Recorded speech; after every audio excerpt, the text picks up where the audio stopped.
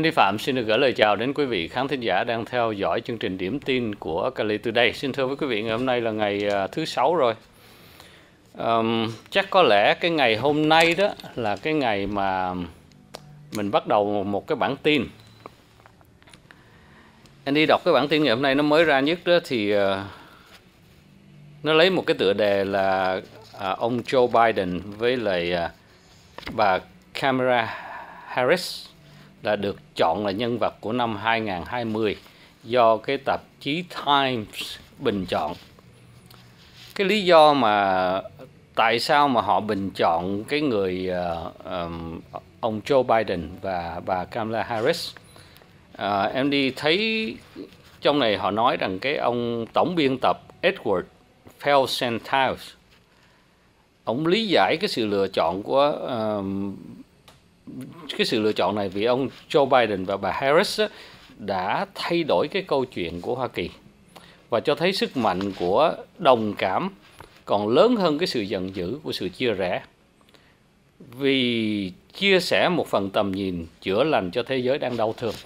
Anh uh, anh đi không biết rằng quý vị uh, nhìn vào cái uh, cái vấn đề này mà nghe cái câu của ông tổng biên tập này ông vừa mới lý giải tại sao ông chọn Ờ, Joe Biden và bà Kamala Harris. Trong đó có một câu nữa đó là um, ông dẫn chứng đó là khi mà trong cái cuộc phỏng vấn ngày 7 tây tháng 12 này đó với tạp chí Time đó, thì ông Joe Biden ông nhắc lại cái việc là nhiều người hoài nghi cái khả năng mà ông chiến thắng cái ờ, chiến dịch tranh cử của ông Ờ, và cái việc mà ông đã áp dụng hàng loạt cái việc phòng ngừa lây nhiễm ờ, virus corona ờ, và người ta cho rằng cái đó quá nghiêm ngặt nhưng mà ngày hôm nay mọi việc nó đã xảy ra đúng như cái điều ông nói. Và ông nói thêm một câu như thế này chúng tôi gặp cái nhiều chỉ trích nói rằng chúng tôi không đối mặt ông Trump với nắm đấm và bằng bằng một cái bàn tay mở rộng rằng chúng tôi không lấy thù ghét để đáp lại thù ghét. Um, cái câu này đó nó nếu mà quý vị nghe vào cái câu này đó thì thì ừ, thôi mình cho rằng là cái tờ báo Times này á, bình chọn là ông Joe Biden với bà Kamala Harris đã trở thành ờ, nhân vật uh, của cái năm 2020 này thì Andy không biết quý vị nghĩ sao nhưng mà đối với Andy thì Andy nghĩ với một câu nói thôi mình đừng có lấy ờ, lấy lấy lấy lấy lấy lấy cái sự mà trả thù nhau mà bằng đấm đấm mà mình mở rộng cái bàn tay của mình cũng giống như là mình không có lấy thù ghét để đáp lại thù ghét tức là mình không có lấy lấy lấy lấy, lấy oán để mà trả thù. Cho nên qua cái việc này đó thì uh, tùy theo cái cái cái cái cái cái suy nghĩ của quý vị mà tùy theo cái cái uh, sự nhận định của quý vị. Và quý vị thấy cái tờ báo Time này á, họ bình chọn ông Joe Biden và bà Kamala Harris có đúng hay không? Thì cái đó là cái chuyện của quý vị nghe và xem đài. Uh, Andy nhường cái cái cái quyền quyết định này lại. Nhưng mà không phải là tờ báo Times này á, là một tờ bình chọn có nghĩa là là thôi. Còn rất là nhiều tờ báo khác nữa nhiều cái cơ quan truyền thông khác nữa và nhiều những cái uh, tổ chức khác nữa người ta cũng bình chọn thì sao? Thì lúc đó để mình coi cái sự bình chọn của ờ, tất cả những cái cái khối cơ quan truyền thông này. Khi mà tập hợp lại rồi chúng ta average nó ra để chúng ta thấy rằng à, có phải là ông Joe Biden và bà Kamala Harris là xứng đáng hay không? Thì đó là cái việc ờ, cái bản tin đầu tiên anh đưa uh, đến với quý vị. Một cái bản tin mà kế tiếp nữa đó là ngày ngày hôm qua đó quý vị có nhớ rằng Andy nói với lại uh, quý vị là cái tiểu bang Pennsylvania đó thì uh, nó có những cái truyền thống mà về tổ chức Giáng sinh hay là tổ chức uh, những cái buổi lễ ở ngoài trời rất là trân trọng, rất là lớn, phải nói rằng rất là uh, vĩ đại. Nó là một cái truyền thống rồi. Nếu quý vị uh, uh, coi về địa lý chút xíu thì Pennsylvania không có không có xa New York bao nhiêu, chỉ qua một cái cầu là tới Pennsylvania rồi, rồi đi thẳng ra chút xíu nữa nó sẽ là tới Atlanta. Thì quý vị ở vùng đó chắc quý vị biết. Thì ờ, nếu như mà mình mình cancel hết tất cả những cái buổi mà lễ ờ, Giáng sinh hay là ờ, Christmas Eve những cái buổi lễ vui chơi cho công chúng như vậy thì có thể nói rằng cái tiểu bang Pennsylvania nó trở thành một cái tiểu bang mà người ta cho rằng nó hoang vắng và nó gây lên những cái sự mà bực bội trong dân chúng cũng giống như là mình đem tới cho họ những cái sự trầm cảm những cái stress mà họ không có thể nào uh, chịu được nhất là trong cái mùa lễ như thế này. Mà cái cái truyền thống cả hàng trăm năm hàng trăm năm như vậy mà bây giờ tự nhiên mình bỏ đi. Cái ông uh, thống đốc Wolf thì ổng còn đang phân vân nhưng mà ngày hôm nay đó, cái bản tin mới nhất cho thấy đó là chắc có lẽ mọi việc này không xảy ra, bởi vì họ đã có một cái lệnh shelter in place.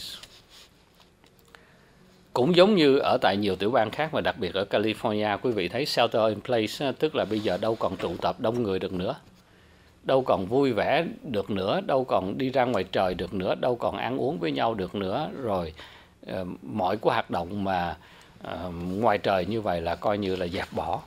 Có nghĩa rằng Pennsylvania cũng giống như những nơi khác mà thôi.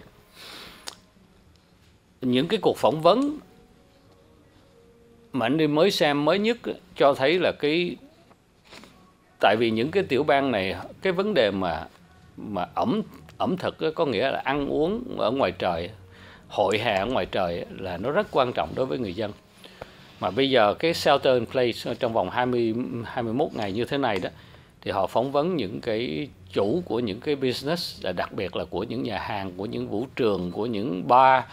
Thì bây giờ đó là Andy có thể dùng cái chữ là khóc ròng. Bởi vì những cái tiểu bang này chưa bao giờ dính cái chuyện như lần thứ hai, như lần này của tiểu bang California, mà cái này là cái lần thứ nhất của họ thôi cho nên khi mà nó nó nó đi vào cái cái cái lần thứ nhất như thế này đó thì họ chưa có những cái kinh nghiệm shelter in place. Cho nên bây giờ khi mà phỏng vấn thì quý vị mới thấy rằng chủ nhà hàng mới nói bây giờ phải cắt giờ làm việc của nhân viên. Uh, chỉ còn bán to go thôi hay là uh, phải không được ăn ở trong nhà không được ăn ở ngoài nhà. Coi như là bây giờ cái cái cái cái doanh thu thì nó sẽ bị mất đi. Cho nên khi mà quý vị biết coi những cái cuộc phỏng vấn như vậy rồi người ta phỏng vấn những cái người employee những cái người làm trong cái kỹ nghệ nhà hàng này thì bây giờ họ khóc ròng họ nói là không biết những tiểu bang khác như thế nào nhưng mà ở đây đó, thì những cái người chủ của nhà hàng cũng vẫn chưa có được một cái sự cứu trợ nào tốt đến tay họ cả.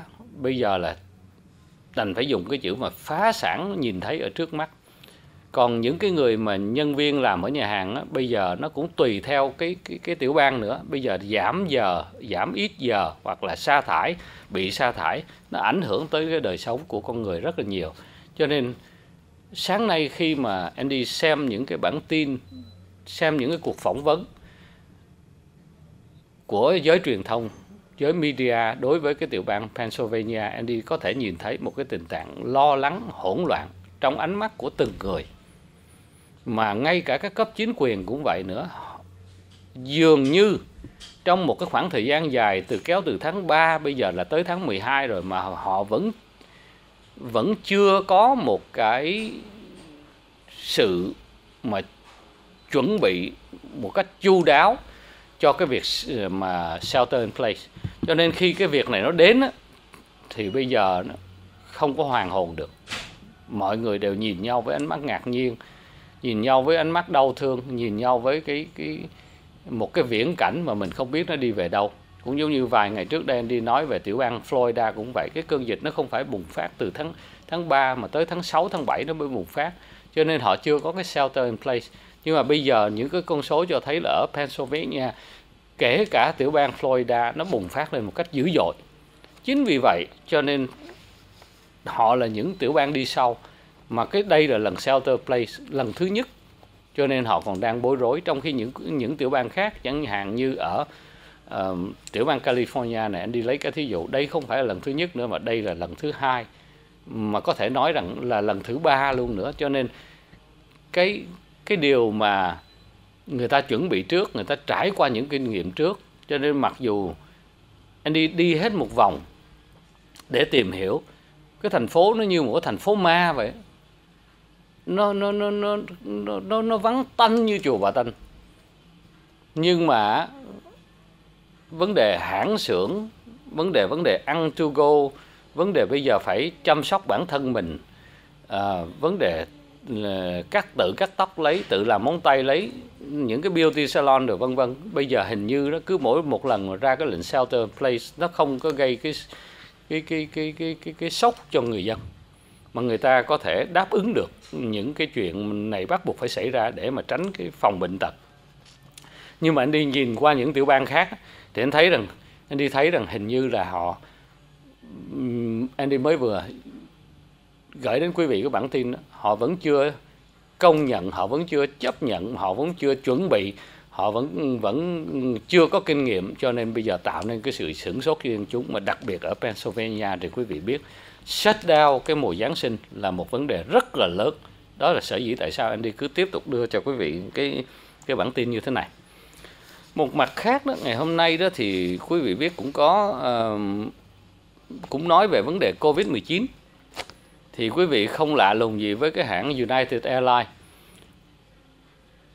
thì cái bản tin này nó đưa ra cũng là giống như anh đi nói giống như CDC nó leak ra những cái cái tin. Thì bây giờ hãng hàng không này nó cũng leak ra ngoài những cái tin mà mình đọc á, mình mới thấy rằng rõ ràng. Uh, cái vấn đề kinh tế đó, nó nó giữ một cái vai trò rất là quan trọng.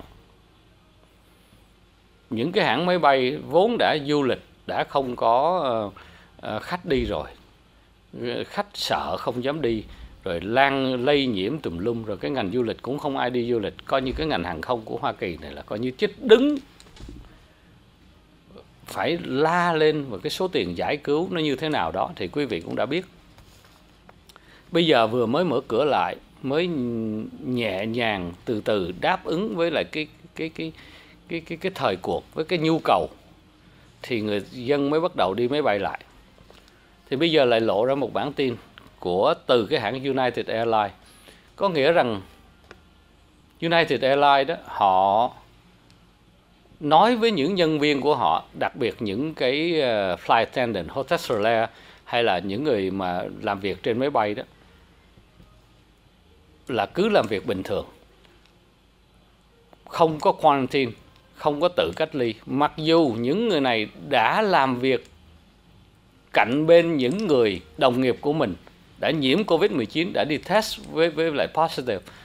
Nhưng mà cấp trên vẫn bảo cứ việc đi làm việc, không có phải lo gì cả. Và cứ theo dõi cái triệu chứng của mình, chừng nào thấy mình có cái triệu chứng gì đó thì hãy đi test. Chứ còn không có thể nghỉ việc được. Cho nên quý vị thấy một cái vấn đề là có phải là kinh tế nó đứng hàng đầu hay không? Nếu như mà bây giờ những nhân viên mà cứ phải quarantine như thế này rồi lộ ra một cái tin mà trên máy bay có người bị như vậy ờ, bị nhiễm bệnh như vậy thì họ phải shut down. Mà khi họ shut down như vậy đó, thì máy bay đâu có bay được nữa. Trong khoảng thời gian làm ăn không có được ờ, khách cũng không có, du lịch cũng không có. Bây giờ mình mới mới vừa làm ăn được, thì bây giờ lại người này bệnh, người kia bệnh. Rồi người này quarantine, người kia quarantine, rồi chỗ này shut down, chỗ kia shut down thì ngành hàng không nó sẽ đi tới đâu. Cho nên thấy, quý vị thấy hãng United Airlines họ bất chấp những cái quy định của CDC bất chấp những cái quy định của uh, ngành hàng không của tiểu bang của liên bang và cái sự an toàn của hành khách. Cho nên qua đây quý vị thấy rằng toàn những cái bản tin nó cứ lít ra ngoài như vậy không à. nếu mà nó không lít ra ngoài thì chúng ta đâu biết họ làm ăn như thế nào. Làm sao chúng ta biết họ khử trùng cái máy bay ra sao? Làm sao biết là những cái quy định hàng không nó cho Ờ, người ngồi cách nhau 6 feet như thế nào, máy bay được chở bao nhiêu người, cái capacity là bao nhiêu, nhân viên ờ, mà làm việc ừ, chẳng hạn như là flight attendant hay là những người ờ, phi công, những người ở trên máy bay như vậy, ở trong một khoảng không gian như vậy, họ có tiếp xúc với nhau hay không? Rồi từ đó họ người nào bị ừ, nhiễm bệnh, người nào không? Người nào đi test? Cho nên cuối cùng mình là cái người hành khách mà người hành khách là cái người bước lên cái máy bay đó. Cho nên quý vị thấy có an toàn hay không thì anh đi chỉ đưa đến với quý vị cái bản tin mà nó leak ra từ ờ, hãng hàng không ờ, United Airlines. À, và bây giờ chúng ta bước qua một cái bản tin kế tiếp nữa. Là cái bản tin mà quý vị biết cái cái cái ngân sách của chính phủ đó nó cần có một cái thời hạn nào đó để mà nó được thông qua. Khi mà ra một cái ngân sách chính phủ như vậy thì uh, cả hạ viện vẫn lẫn thượng viện phải thông qua cái ngân sách của cái uh, quốc gia. Để từ đó nó nó mới có những cái tiền để mà trả tiền cho những cái nhân viên của chính phủ cho quân đội vân vân và vân vân. Nhưng mà cái uh, quý vị biết là chính phủ ngày hôm nay đó đã có cái nguy cơ là phải đóng cửa.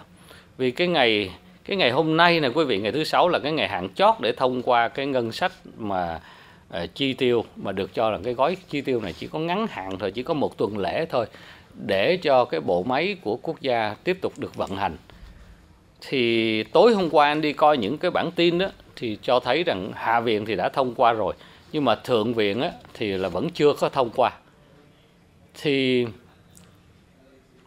họ còn đang lằng nhằng một cái cái cái cái cái vấn đề khác nữa. Bởi vì nó có một cái uh, phải nói rằng nó có một cái mà uh, liên quan trong vấn đề này đó là nó có một cái đạo luật khác tức là một cái ờ, cái cái cái cái ủy quyền quốc phòng đó là cái khoản khoản ngân quỹ nó khoảng 740 tỷ. Mà cái số tiền này đó là bên dân chủ và bên bên dân chủ thì họ thông qua rồi. Nhưng mà bên cộng hòa đó thì họ nói trong tuần này họ sẽ thông qua.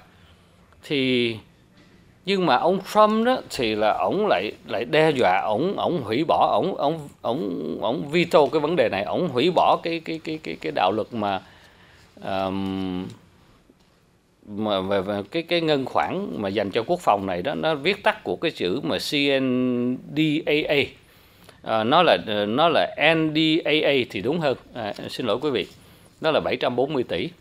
Thì có một số những cái vị ờ, thượng nghị sĩ uh, bên uh, ở trên thượng viện họ muốn là coi như phải dời cái đạo luật này uh, xuống cái ngày 14 tây tháng 12 nhưng mà à, trong đó có cái ông mà mà Rand Paul đó thì ông này là cái người mà ông muốn cản trở cái, cái việc này ông muốn muốn delay nó lại là để mà làm chậm trễ cái nếu như mà cái đạo luật này nó nó thông qua thì là là cái cái việc rút quân của ông Trump từ, từ Afghanistan trở về nó càng sớm hơn.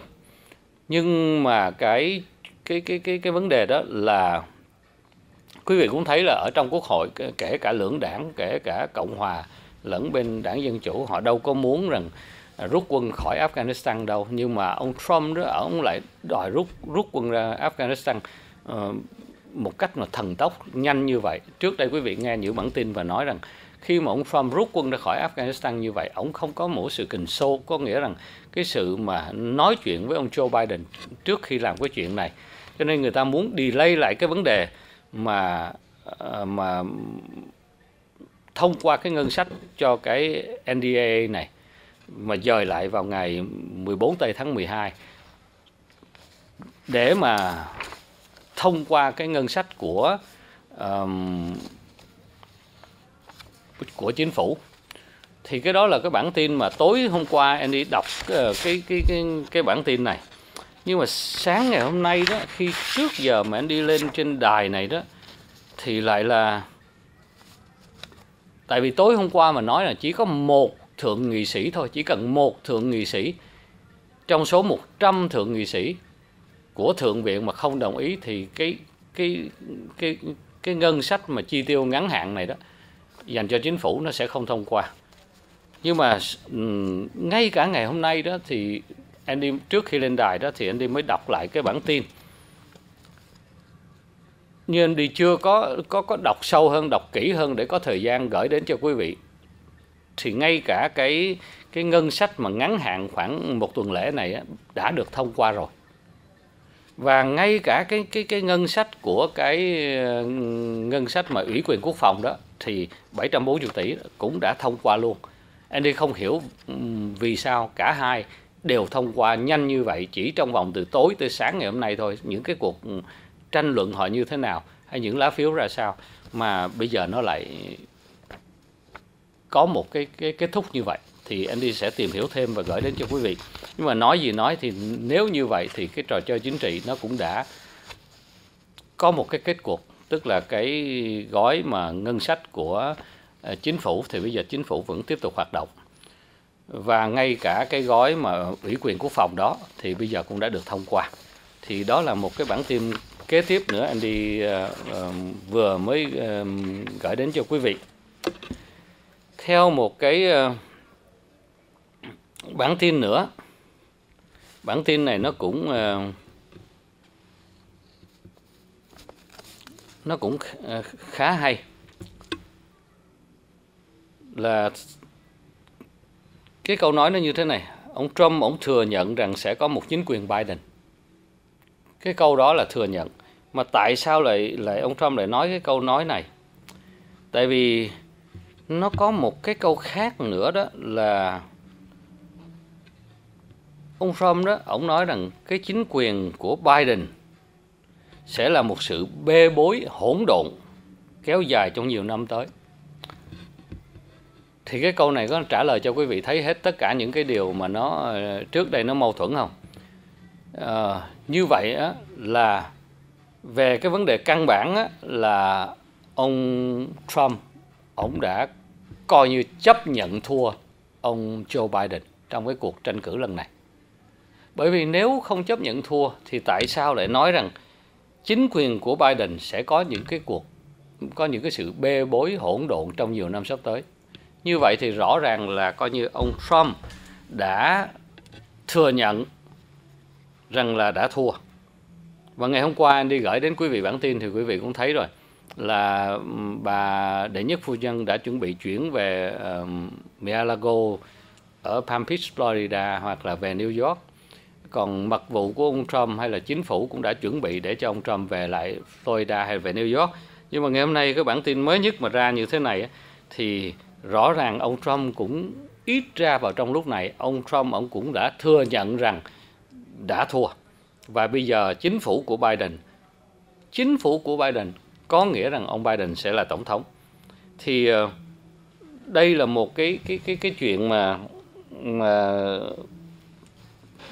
những cái chuỗi tin tức nó liên kết với nhau. Quý vị thấy mỗi ngày nó chỉ hé ra một tí hé ra một tí.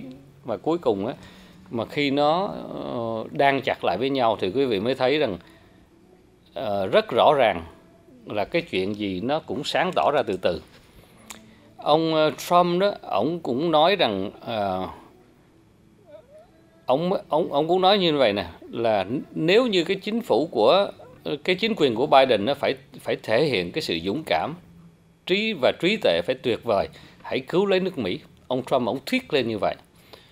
Rồi cái những cái người ta cũng đang nói tới cái việc mà cái con trai của ông Biden tức là ông Hunter Biden đang bị bộ tư pháp điều tra mà đặc biệt là cái ông Bill Barr đó ông tư, ông bộ trưởng tư pháp ông biết là là ông Hunter con ông Biden này có làm ăn liên quan tới vấn đề thế khóa vì với lại những cái quốc gia Trung Quốc được vân vân họ điều tra.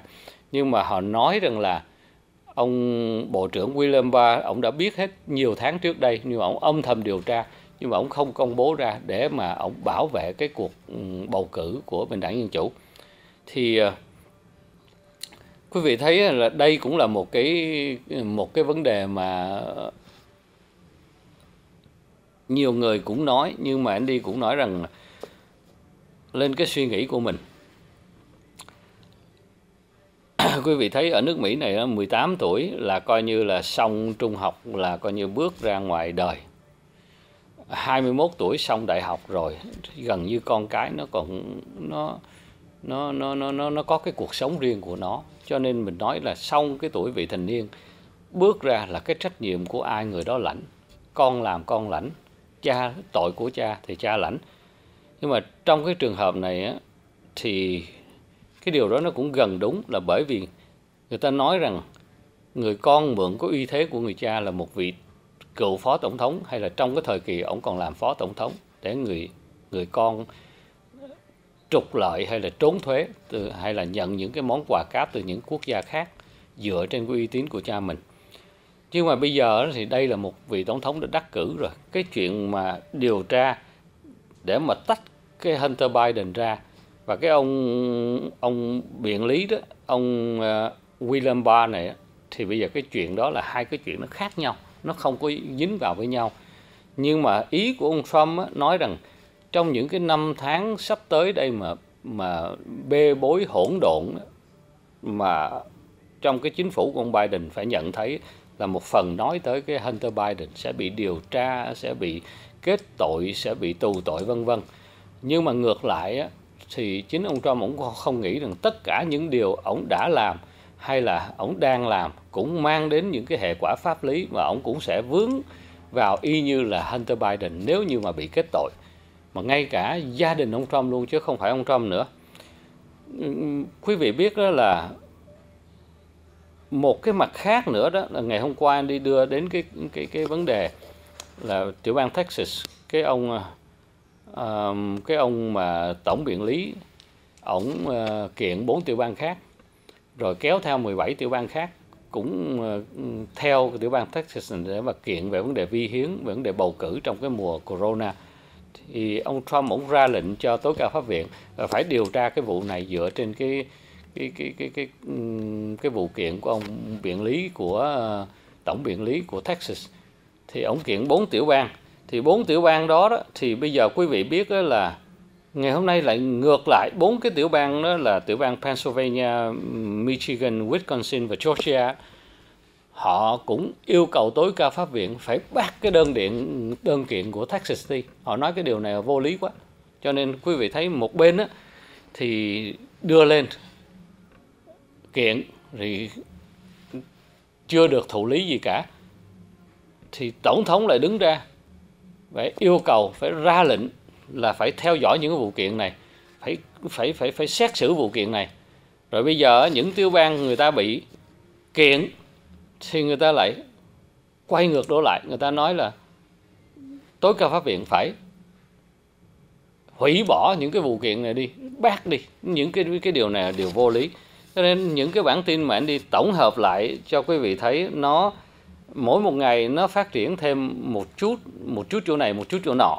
Chứ nó không có uh, không có cái gì mới mẻ cả. Nên là, là qua cái uh, những cái cái thông tin mà Andy đưa ra đó thì uh, không biết là quý vị nghĩ cái uh, cái cái cái vấn đề như thế này. Mấy ngày trước đây đó thì uh, sau khi Andy đưa cái tin tức ra và sau khi ông Trump ông rời tòa bạch ốc đó, thì nhiều người mới nói rằng nói đùa chơi thôi. Mới nói rằng có lẽ là khi ông Trump rời tòa Bạch Ốc thì chắc chắn là người ta phải khử trùng toàn bộ cái tòa Bạch Ốc. Bởi vì cái tòa Bạch Ốc này là một cái ổ bệnh mà coronavirus mà nhiều người cũng đùa thôi, họ cũng nói là chắc có lẽ là phải khử trùng thôi, phải tẩy trùng thôi. Nhưng mà anh bây giờ anh đi đọc đọc được một cái cái bản tin nó như thế này.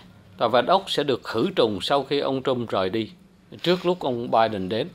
Cái gì mình nghĩ mình nói đùa là nó cũng có.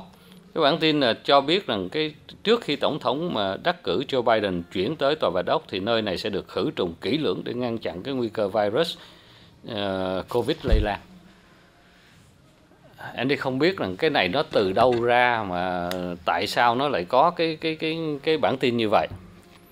Um,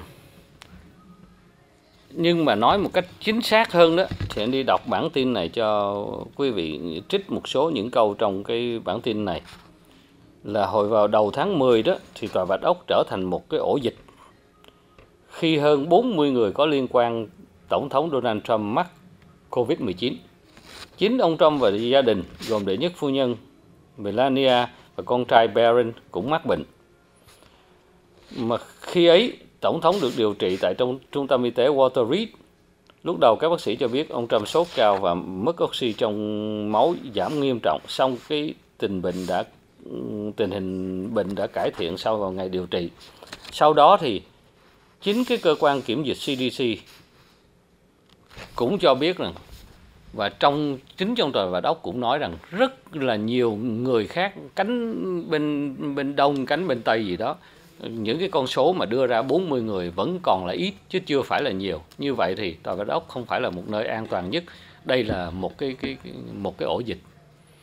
Cho nên cái bản tin này đưa ra ngày hôm nay đó thì nó cũng trùng hợp với cái suy nghĩ của mọi người mặc dù cái suy nghĩ đó nó chợt đến thôi chứ còn uh, chả có ai mà mà mà nghĩ tới cái uh, cái vấn đề mà phải khử trùng cái tòa bạch ốc này. Để anh đi coi một bản tin mới nhất nữa là để coi để gửi đến uh, quý vị.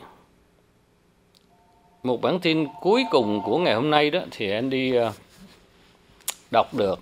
Um, họ nói về cái vấn đề mà họ lấy một cái hình ảnh của ông ông Joe Biden không biết là ở trong cuộc họp nào hay là một mình đơn độc ngồi trước cái ống kiến mà ai chụp được với cái tư thế hình ngang ông đang ôm cái đầu có vẻ như suy tư. Ở dưới một cái, đó thì nó có một cái dòng chữ được bỏ lên. Tức là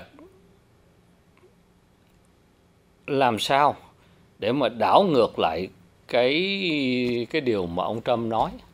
Tức là nước Mỹ là trên hết. Tức là American first, America first. Trong này đó thì khi mà anh đi đọc cái bản tin này đó thì đúng cái hình người ta đưa ra nó ổng ưu tư như vậy là đúng.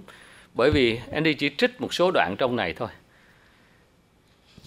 Thì khi mà đưa nước Mỹ thành một cái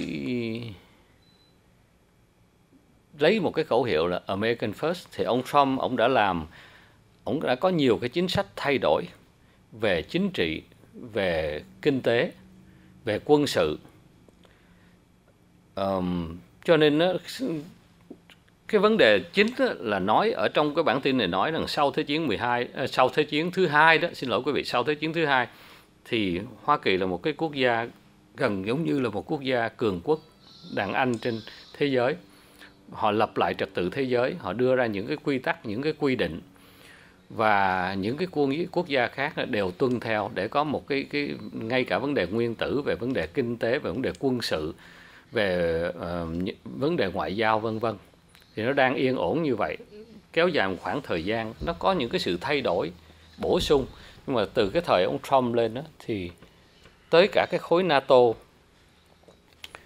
cũng bị xáo trộn bởi ông Trump. Rồi đến cái ờ, cái vấn đề mà biến đổi khí hậu ở tại ờ, cái hiệp định biến đổi khí hậu ở Paris ông Trump ông cũng bỏ luôn. Rồi như cái thỏa hiệp hạt nhân đối với Iran. Nó là một cái thỏa hiệp mà nó mang lại cái sự yên lành ở bên Trung Đông. Ông ông Trump ông cũng bỏ luôn cái vấn đề này cũng tạo nên một sự rắc rối. Rồi về kinh tế thì, thì quý vị thấy là như cái ờ, cái hiệp định mà kinh tế xuyên Thái Bình Dương rồi ờ, ông chỉnh lại cái vấn đề mà NAFTA um, um, với lại Canada với lại Mỹ Tây Cơ và rồi còn nhiều cái khác nữa. Mới đây đó thì ở châu Á người ta lại uh, 17 18 nước gì người ta mới gộp lại với nhau để người ta thông qua một cái hiệp định về tiền tệ làm ăn với nhau. Trong đó có Trung Quốc là người dẫn đầu. Mà theo cái bản tin thì cho biết là chính ông Trump ông đưa cái nước nước Mỹ một cách là ích kỷ cô độc như vậy đó. Với những cái chính sách của ông á, đã làm cho cái ờ, đã tạo ra những cái lỗ hổng trong cái, ở trên thế giới này, mà những chỗ mà Mỹ trước đây đã từng nhúng tay vào, đã từng kiểm soát được, bây giờ Mỹ rút tay ra, cho nên Trung Quốc đã trỗi lên và lấp những cái lỗ hổng đó. Cho nên cái thế lực của Trung Quốc mạnh hơn. Một mặt khác đó thì ờ, quý vị biết rằng cái, lúc nãy anh đi nói đó là cái cái, những cái ờ, cái hiệp định mới nó kêu là RCEP nó coi như là được xem là một cái hiệp ước thương mại tự do uh, lớn nhất ở châu Á và chiếm gần 1 phần 3 dân số thế giới mà Hoa Kỳ không có tham dự mà Trung Quốc lại đứng ra um, duy trì và họ bước vào trong cái hiệp định này. Cho nên quý vị thấy ờ, đây là một cái điều không phải là đơn giản. Thật ra đó thì ờ, những cái đòn mà thuế quan của ông Trump ông đánh vào Trung Quốc đó, thì ờ, Mỹ cũng có được những cái lợi cái lợi là là có thể đánh thuế áp dụng như hàng loạt những cái thuế quan đối với những cái sản phẩm như là nhôm, sắt, thép ở nhiều quốc gia nhưng mà đặc biệt là đối với Trung Quốc. Nhưng mà cái đòn thuế quan này đó nó được lợi thì rất ít nhưng mà nó làm thiệt hại cho những cái doanh nghiệp của Hoa Kỳ lên tới cả hàng tỷ Mỹ Kim và nó gây hại cho những cái, cho những người nông dân của Mỹ và coi như là Mỹ phải phải bỏ tiền ra trợ giúp những người người nông dân, những sản phẩm nông nông nghiệp lên tới cả hàng chục chục tỷ Mỹ Kim. Và cho nên cái đó là cái vấn đề mà nó nó thiệt hại. Mà anh đi chỉ có tóm lược và trích lược lại, nếu một cái bài viết này thì nó cái bản tin này nó rất dài, nhưng mà anh đi trích lại cái điều này thôi để quý vị thấy rằng cái hình ảnh của ông Joe Biden ngồi ôm đầu. Cho nên theo những cái ờ, nhà phân tích về chính trị, về kinh tế, họ nói nói thì dễ, nhưng mà đưa Mỹ lại một cái vị trí cường quốc hàng đầu thế giới, trở lại là một người anh cả, không phải dễ dàng một chút nào. Nói thì dễ, nhưng mà làm thì không dễ. Cho nên cái điều này nó rất rõ ràng qua một cái cái cái cái bài viết phân tích rất là hay như thế này anh đi chỉ lượt qua một số vấn đề như vậy để quý vị thấy rằng mỗi một ngày, anh đi nhắc lại, tin tức nó chỉ có, mỗi một ngày nó phát triển thêm một tí thôi, nhưng mà nó, tin tức nó đi rất nhanh.